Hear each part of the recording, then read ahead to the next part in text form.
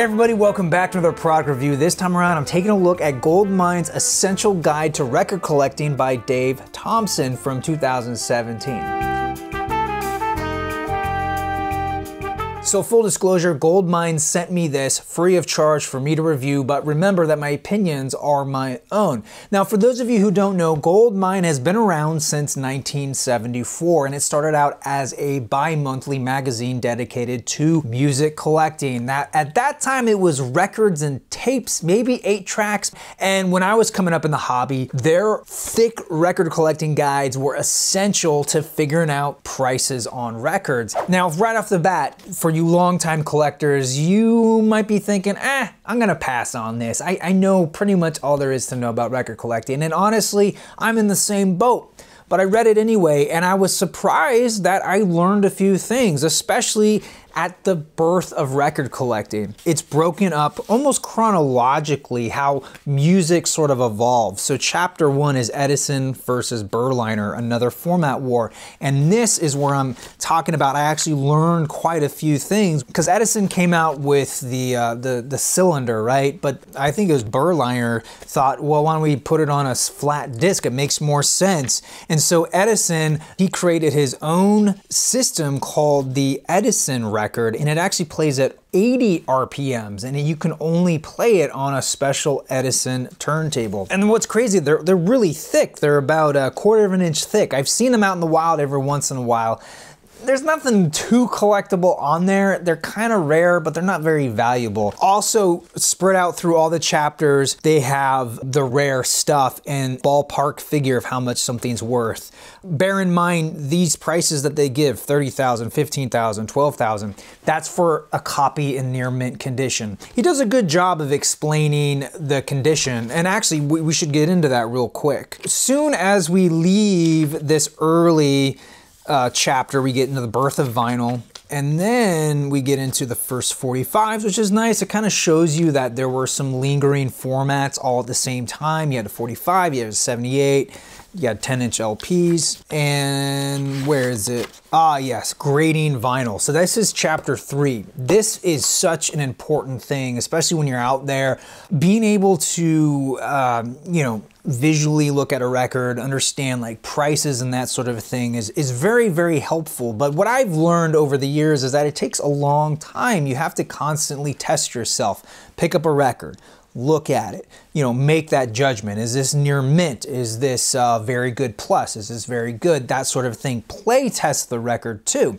uh, because visually grading vinyl won't lend you all of the answers that you need for in terms of the plain condition. And that's interesting too, that there's two types of grades for a record. The the vinyl itself could be near mint, but the, the, the cover is all torn up. And so it's like a good, a good plus. Also in here, he talks, he does a great breakdown on why do we use near mint? Well, it, Goldmine and I, I, personally too operate under the theory that there is no such thing as a mint record.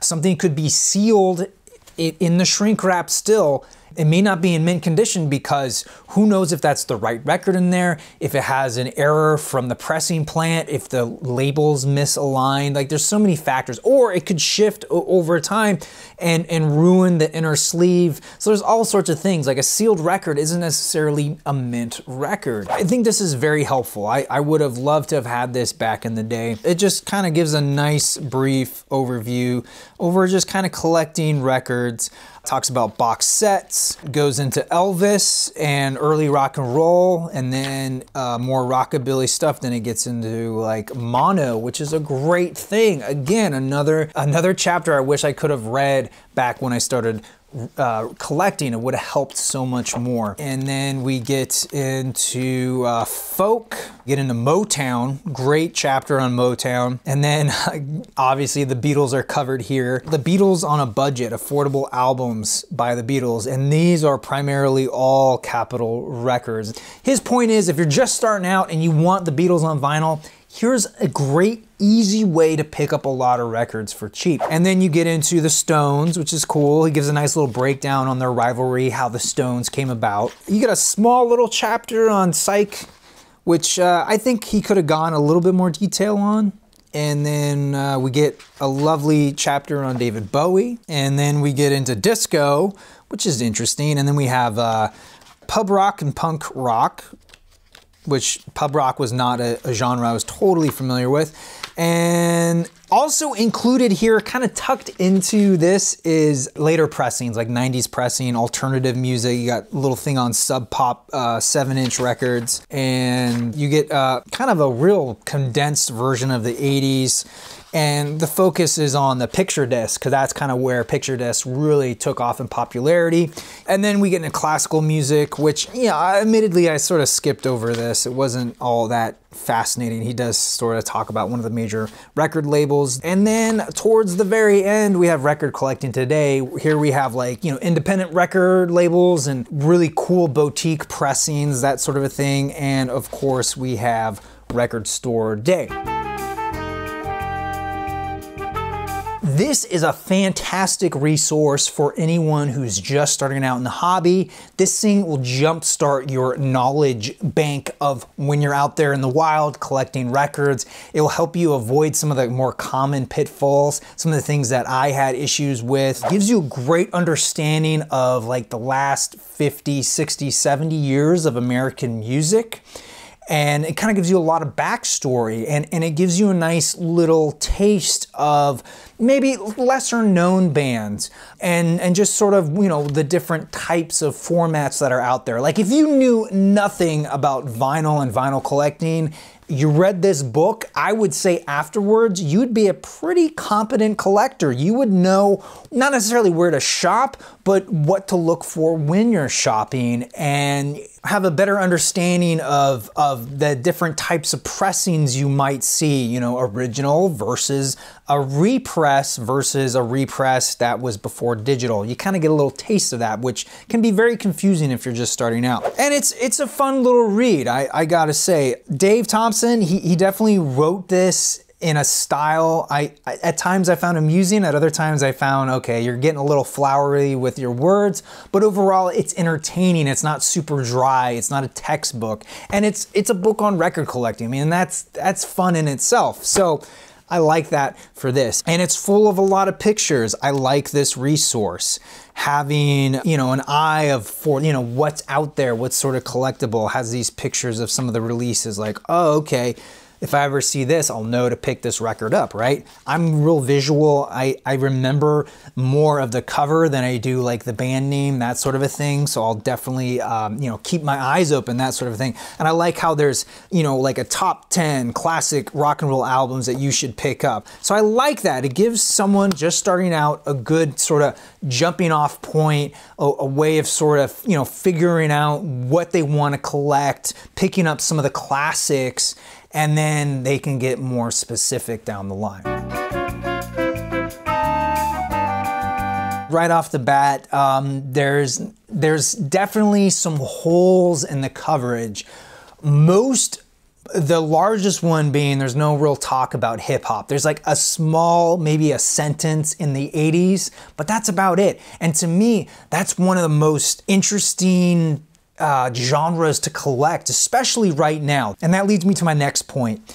Once you finish this book, it becomes very clear, Dave Thompson, you know, where his preferred genres lie. He does a good job of sort of covering a lot of bases, but you can really tell that he is a product of growing up with uh, 60s, 70s rock part of the reason there's a hole in some of this is that I, I, don't think that's the kind of music he likes. And then the main thing is I feel like it goes way too much into certain genres. For instance, classical music, disco, and folk yeah, there's Bob Dylan, there's Joan Baez, uh, Joni Mitchell. Like, yeah, there's some heavy hitters in there, but I don't think it deserves as much of a chapter as he gave it, especially when you compare it to the like the two pages he gave to alternative rock. That to me is really collectible right now. It's very hot. A lot of new collectors want to buy that stuff from the 90s, and I it, it feels like a big omission to really relegate that to just a chart and like a paragraph two. He could have talked a little bit more about collecting today, uh, talked about buying online, what to be wary of, buying reissues versus original pressings, 180 gram vinyl, colored vinyl, all these sort of buzzwords, sort of uh, marketing terms, and sort of helping a young collector sort of navigate all that just to be aware of stuff like not all 180 gram vinyls created equal, not all colored vinyls created equal. I think he could have gone into vinyl record collecting clubs because I think that's another good way to start a vinyl collection is by joining a club to kind of help you uh, navigate all this music out there. So overall, I enjoyed this book. I really recommend it for anyone out there who's just starting out, or if you have a friend, a niece, a nephew, someone who is looking to get into record collecting, this is a fantastic resource to have. It's a fun read, it goes by quick, and it's full of tons of information. And with that, I give this book four Pompadours out of five.